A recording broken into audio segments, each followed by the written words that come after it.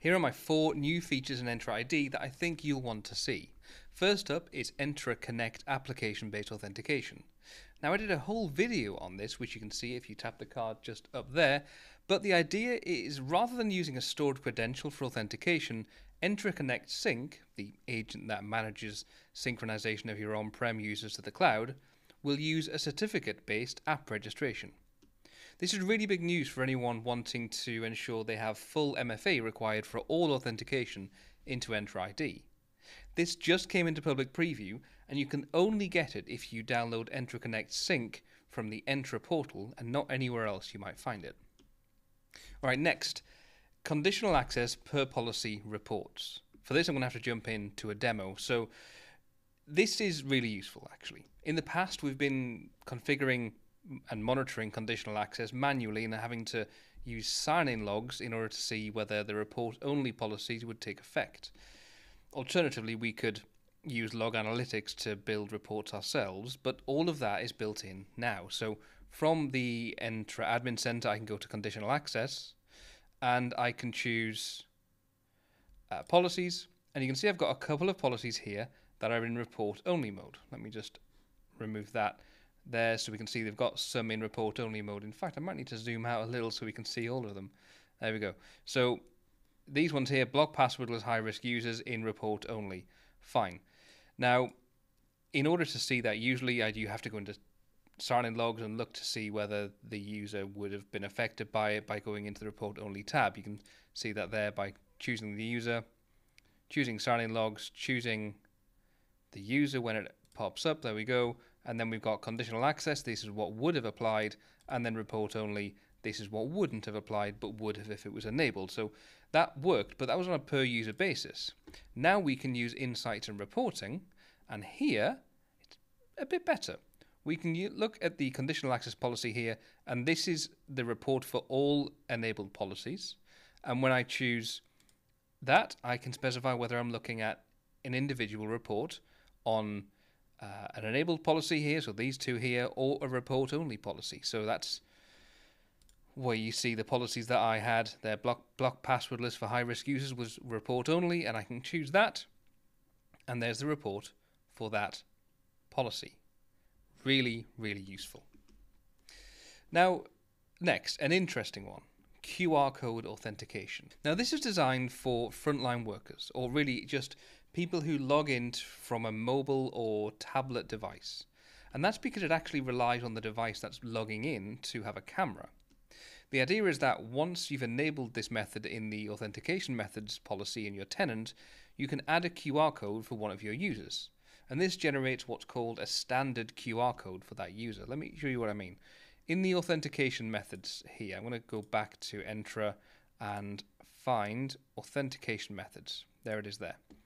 I have QR code enabled for all users. To enable it, you just click on it and you choose enable. You can obviously specify some users using groups or you can enable for all users. Crucially, they can't create a QR code themselves though, so it's kind of fine to enable it for all users. Now, when I choose configure, you can specify the pin length. So this is that every QR code needs a corresponding pin and also the lifetime of that QR code. So by default, it's eight characters long and uh, a lifetime of 365 days. Now that's not all we need to do though. We need to actually create on a per user basis. So I'll show you what I mean. If I choose users and find Alex, for example, I can then go down to authentication methods and add an authentication method for Alex.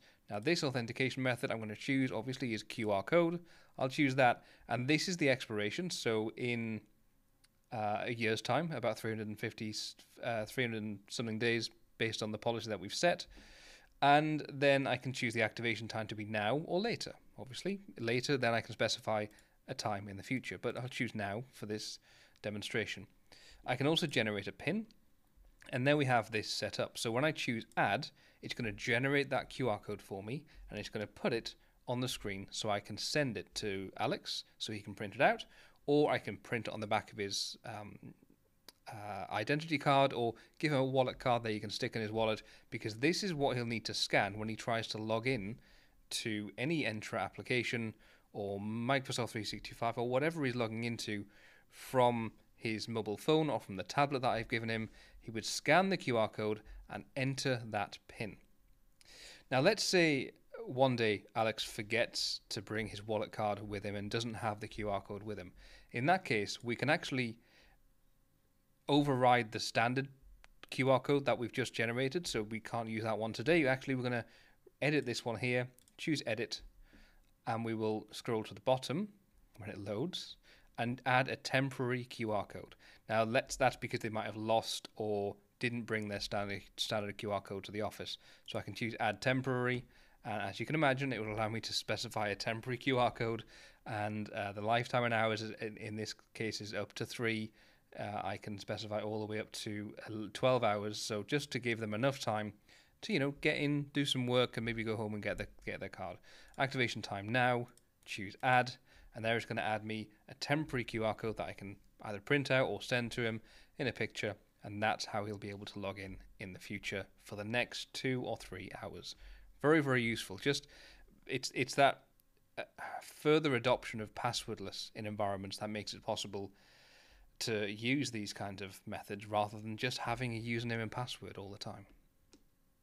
Finally, and this one I think is a really good addition. It's uh, it allows us to have some control over how users are given local admin in the environment. I'm going to go with devices here, and what we're talking about here is uh, in device settings we have where is it local admin settings.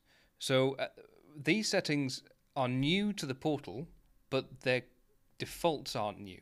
If you let me let me explain. So right now, the setting global administrator role is added as local administrator on the device using entra join during entra join. I can specify yes or no. Now that by default is set to yes, and that seemed like a bad idea. Um, I mean, it could be okay to allow the global admin to be local admin on every Entra device. Maybe that is an okay idea it's up to you really. But the point was, the point is that we never had that choice in the past. Now we do. It always used to be yes, and now we can specify no if we like. That's really, really useful. The other thing is registering user is added as a local administrator on the device during Entra join. Now this by default is set to all because they always were. And in fact, the only way to get around that in the past was through Windows Autopilot. And now we have that capability to just choose none.